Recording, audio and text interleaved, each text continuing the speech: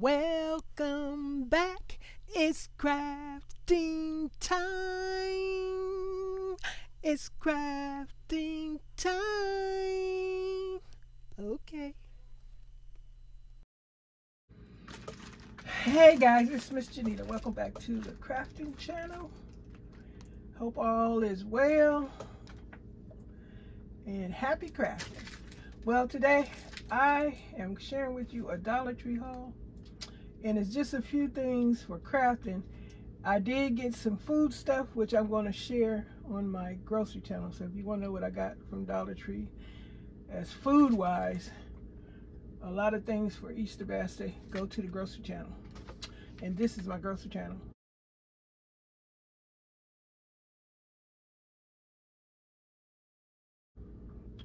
Okay.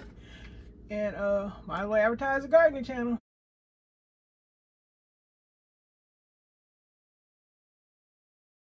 This is it. Okay, let's move on.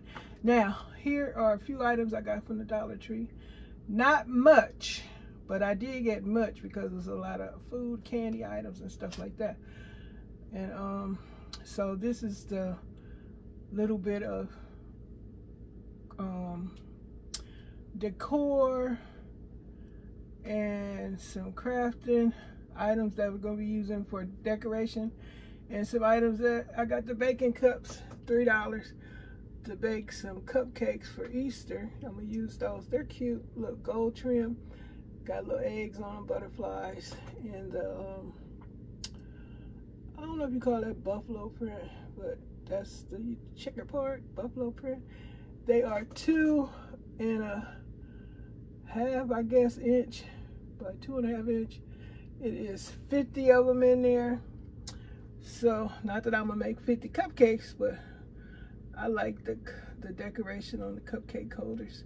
So I'll be using that and also picked up a couple of bags of the grass to uh, put in the Easter basket. Boy, things sure have changed. They got these bags the size of a sandwich bag. no longer long. They all stuffed. Everything has been reduced in quantity. Everything is smaller nowadays. And when you go to the grocery channel, I'll show the food is all so small. Everything is so small. But anyway, that's what I got. Two bags of grass. I got some mini wood clothespins for to make some crafting stuff with that. So cute, these little tiny ones. And I got two bags of these foam egg ornaments. If I don't use them this year, they surely will be decorating something on another year or something else. So two bags of those. Here's the other bag right here. Yep.